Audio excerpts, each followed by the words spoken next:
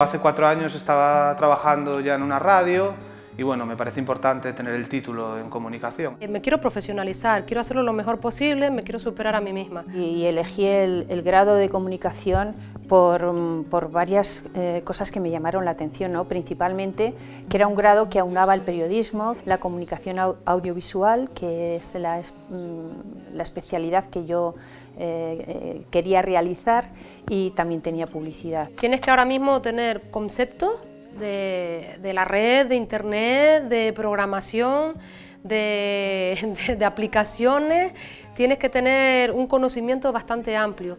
¿Qué pasa con la UNIR? Que al ser tres tipos de, itinerarios distintos, los que tú aplicas en tu conocimiento global al final, pues ya estás entrando en todos esos campos. Está dirigido fundamentalmente a las nuevas tecnologías.